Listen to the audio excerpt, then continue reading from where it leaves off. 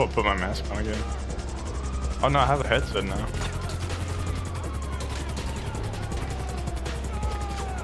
Oh, I need a co-pilot. I'm right here. Alright. Do you know where I can find one? I don't know. Get in.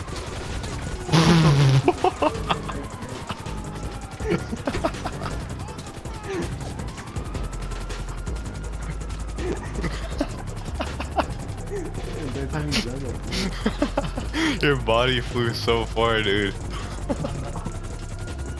I'm over here.